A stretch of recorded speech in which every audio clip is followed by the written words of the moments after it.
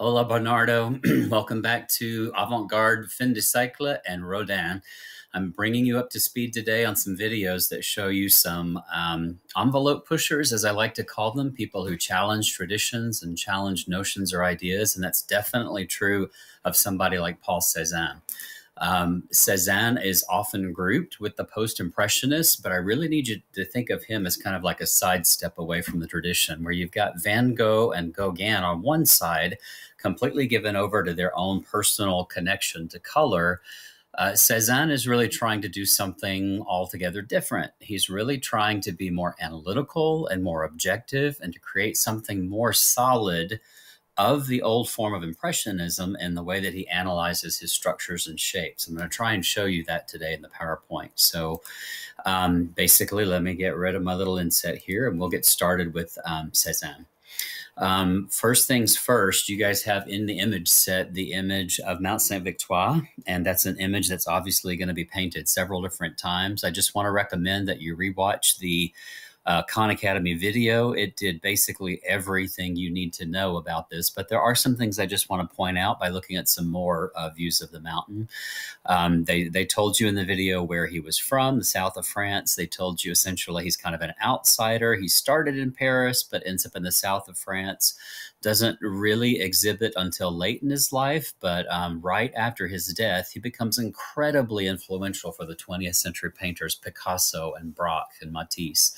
So um, he provides almost like a link between the old world and the early 20th century moderns that you just can't overlook. Um, and he's incredibly valuable in our study of art history. So, um, looking at this particular view, guys, you can already see that the mountain is going to be important to him. It is a landmark of the area around Aix-en-Provence. Um, it is something that Cezanne wished to experience out of doors. Um, so he preferred to be on site, um, walking all over the hilltops of, of, of Aix-en-Provence and really trying to understand the shapes that were coming to him uh, uh, from the mountain. Here you can see already, we've got almost like a dissection of color and you're seeing brush strokes that are really iconic for Cezanne. Um, I think in the video they called them hatching. Um, I've heard people on exams describe them as hash marks, you know, those little um, abrupt hash marks that you make. If you're marching band, you, you know hash marks are on the field and they're the shortest line on the field. They're almost like dotted lines.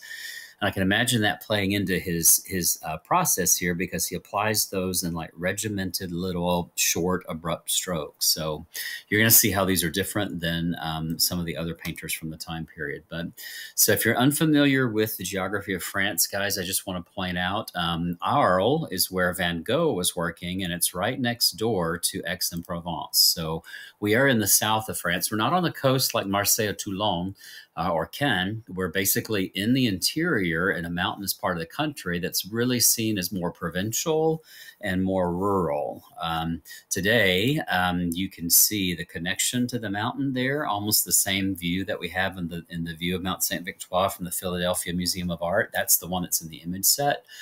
Um, so he's really, I mean, he's copying from nature, but he's creating composition. And that's where um, we, we, have to understand his process. So today, if you ever get to go to Aix-en-Provence, you can actually take a tour of where he walked. Um, there, the stops along the way are marked with little bronze ingots that are put into the ground of where you are. So places that are significant to him are highlighted. He's kind of like the hometown boy for Aix-en-Provence. So um, just a note for your travels later on. But um, you, you, saw in the video that there's almost like 30 paintings of this thing. And when artists focus on something that's like that in a series, it really is, it, it becomes an opportunity to see their style change over time. Um, we're seeing the mountain here kind of break down into washes of different colors that really are not blended in and not meant to create like a window on the world, like a believable photograph. We're really looking at the basic shapes that make up the image of the mountain in its landscape we still kind of have a sense of foreground and background here because the colors kind of recede to that blue in the background. But you're going to see um, that eventually just fades away. It becomes less and less of a concern. And we're already seeing areas of the canvas, guys, if I use my laser pointer here, that are unfinished, that are, are basically making us very aware that this is um, paint on canvas. It's not a photograph, right? And that was intentional. You even see a little bit of that happening here in the mountain.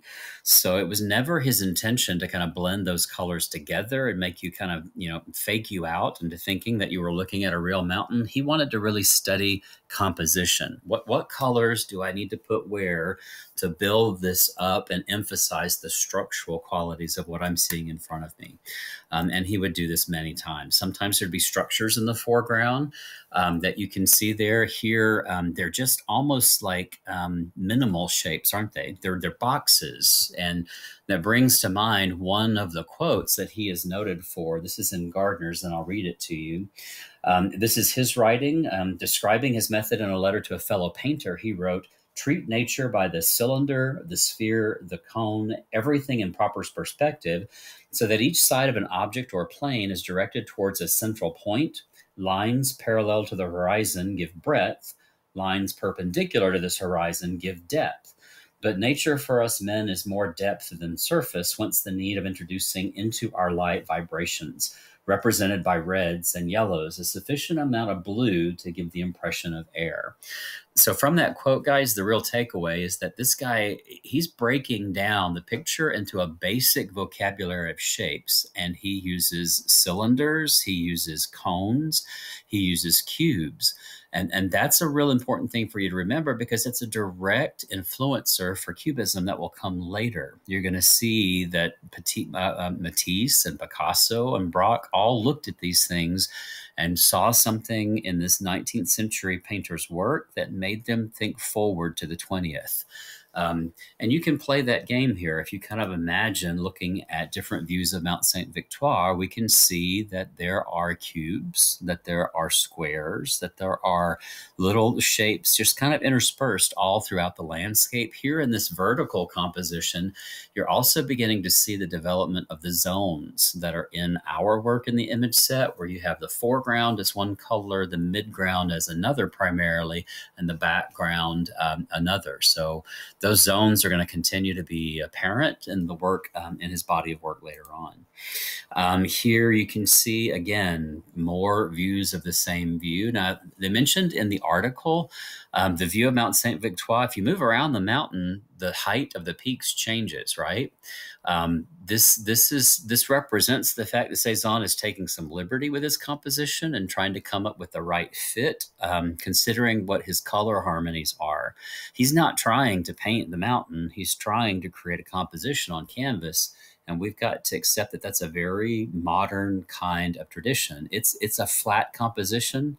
It's almost like the background is pushing forward just like the foreground and we kind of have this spatial ambiguity that's really making it hard for us to know what's in front of what.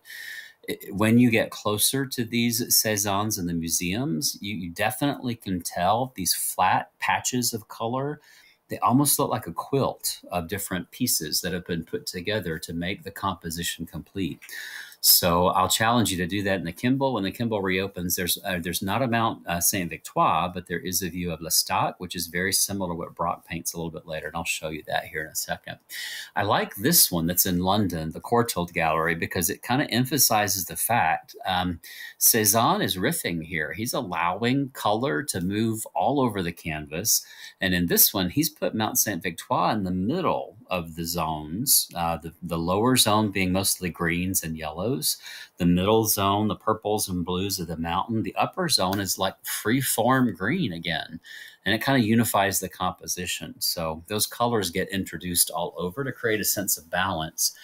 I have to tell you, um, these look gestural, right? Like they were done very, very quickly. They were not. Um, Cezanne, in some of his still lifes, would actually have his his subject rot before he was finished because he was so deliberate in thinking about where to put the next brushstroke. So I, I really need you to see he's not doing Van Gogh. He's not doing uh, Gauguin. He's not any like any of the other impressionists who simply gesturally render their things in the field and call it quits. He is painstakingly applying slowly the next color to canvas. So his process plays out a lot more slowly. Um, all right, so this is the work that's in the image set for um, Cezanne. And having seen those other views of the landscape, you can kind of see this is this is toward the end of the process, isn't it? This is one of the more disjointed um, pieces, and some people have even said that it's unfinished but it gives us an opportunity to see what the building blocks of his composition really are. They are boxes and cubes and hashtag hashtag marks of little blues um, all over the place. When you look at the cliff, you can really see it starts to break apart into fields of color. And if you hadn't seen the previous image to know that that was a mountaintop, you might think that you were looking at like an abstract expressionist piece, right? Um, but stepping back, it, it kind of resolves itself. Now, they mentioned the still lifes in um, the video as well as the, the essay, but they didn't really show you any. And I wanted you to see we can really put this mantra of cylinders, cones, and spheres to work when Cezanne paints a still life, guys, he paints it in such a way that it's like a composition of multiple views at once. And that really challenges our notion of what a traditional still life is. I see these these peaches, I guess is what they are, but they they don't block each other from our view the way that they would rationally in a typical Renaissance like portrait. They stick out as individual spheres and it gives the the artist some like freedom to kind of explore this subject matter as really more composition than representation. Um, you see it many times over, um, and he's very popular for his still life. Um, one of the things that you really see here um, in this grouping of apples, if you look at the left hand side of the table, and you look behind the plate of apples, you seem to see one particular part of the table moving around but when you get to the other side of the plate of apples they don't line up right? There's there's something that's disjointed about that that fractures the picture plane and that probably comes from Cezanne's practice of working on these things over an extended period of time where certain details may not have been exactly where they were before but he doesn't try to correct that and create something that's not true to the moment and it creates that little jog that basically shows up later in later artists' work as something that's a fractured picture plane. I'm describing cubism to you guys, um, so that's something that we're going to see later. If you look at the coffee cup here, it is it's a cylinder, right? And it almost exists independently of the saucer that sits underneath it. Um, the apples on the plate, they don't like sit in a way where you see some that are you know half rendered or some that are blocked maybe the one in the back um, but they really give you a great opportunity to see the hashtag approach by which he rendered the color on that shape. Um, so here you have a little study in studio of a cupid typical marble little plaster figure um, but if you look carefully, I'm just going to use the highlighter here. It's basically a whole series of circles. I can start with the baby round cheeks, the little forehead, um, even the hair looks like it was basically a bunch of circles. I can definitely see that in the pectoralis major there. I see it in the belly, around the navel. I see it in the buttocks even down through the thighs. This is this is kind of like a whole series of circles that have just been stacked up to create a human figure. So um, it applies to his figures as well, not just his landscapes and still lifes. But um, here is another example. Um, we're looking at a still life where the plate has been turned up to face the viewer, and we're looking down on tops of the apples, but the table is still almost in profile. We've got a little bit more spatial ambiguity here where you're looking at this edge of the table sticking really far forward. But when you get to the other side of the table, it just seems to be randomly somewhere there, just indicated and not fully rendered. So that creates some more spatial ambiguity. If you look up here, guys, can you see brush brushstroke? I'm going to use a laser pointer pointed out here hashtag, hashtag, hashtag. This is kind of his process for making those little brush marks. And that's very different when you think of like somebody like Vincent van Gogh, right? Those curvilinear forms that stretch all over long shapes. Here, the brushstrokes are more abrupt. That's what's going to lead some people to say um, he was really attacking the canvas, right? You can almost see him hitting the canvas to get that black little section out. Um, if you try to recreate those movements in your mind, that's basically what we're talking about there. Um, more still life that you see here, this time featuring a skull. Um, but when you look closer at the skull, it's not a round shape, it's just a pastiche of different colors. There's swatches in black, there's swatches in red, there's some yellow there. Um, of course, there's the black for the eyes. I mean, basically, um, the shape exists as like a flat assembly of color. Um, here is a self portrait, and I really like looking at his bald head here. that round shape, you really can see the hashtag marks, right, in different colors. And if you look closely at them, they, they tend to like disappear. But if you back away from the screen, it makes sense as color and shadow or light on surface. Now, let's be clear um, Cezanne is not trying to capture a moment in time on canvas. He's simply trying to analyze and be more rational in the way that he puts his shapes together in a composition. So, um, this is a famous art dealer, Ambrose Vollard. Funny story. He comes to Cezanne in the south of France, all the way from Paris, not once, but 60 times Cezanne was so meticulously slow. It reminds me a little bit of Johann Vermeer. Um, but Vollard finally got frustrated with all the trips, wanted the piece to be finished, and um, it never really was. So that's how painstaking um, Cezanne was about how to put figures together. If you look at this guy, he looks almost like a rag doll. His fingers in the front, they're part of his fist, all look like parallel cylinders. His body is put together in i mean um, his face is rendered just minimally and it seems like we're really trying to put together a more modern version of what the portrait should be um, here you've got another famous Cezanne. I think the funniest detail about it is the spoon in the cup. It's standing straight up we know it would be resting on its side, but the idea is it's a concept of a spoon, not a depiction of a spoon. And it can be best represented or best uh, um, understood in that position rather than laying down on its side. Um, the cylinder of the coffee pot, the, the almost doll like connection of arms and body parts. Um, spatial ambiguity that you see in the front of the sitter is, is continued in the back, where sometimes edges of whatever this is in the back, paintings or decorations on the wall, does not line up. Um, so that gives you kind of the idea. Now, um, basically, if we move forward, I'm just showing you some famous Cezannes. Look at this little hat here, right? I'm sitting on top of that very large head um, in a raggy kind of, of sewn together way where the people look like basically um, geometry that's just been stuck together to create the picture. I mean, if you compared this to Caravaggio's card sharps and the Kimbell, I mean, you would see the process is completely different. Same subject matter, but very different kind of effect, right? His Large Bathers is one of his late uh, paintings that's not completely finished, but it gives you a chance to kind of compare his tradition to something like what Titian would have done hundreds of years before. If you take a look at the high level of finish and all the glazes that Titian puts into those fleshy, fleshy tones and compare them to Cezanne, you just realize that the, the aims of art have definitely changed. All right. So, how are we going to see this on your test, right? Um, you won't see still lifes. You won't see large bathers. You will see something that looks like landscape. So, initially, that's where my head goes, right?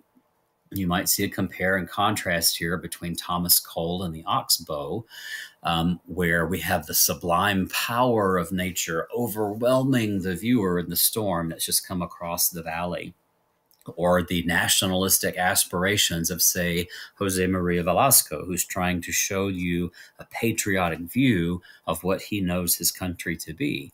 Cezanne is not even about any of all that. He's about form. He's about composition. He's trying to use nature to create something um, that really is uh, more modern in its conception. I'll read you a quote here. Cezanne wrote in March 1904 that his goal was to do Poussin, as a classical landscape painter, Poussin over entirely from nature in the open air with color and light instead of one of those works imagined in studio where everything has the brown coloring of feeble daylight without reflections from the sky and sun.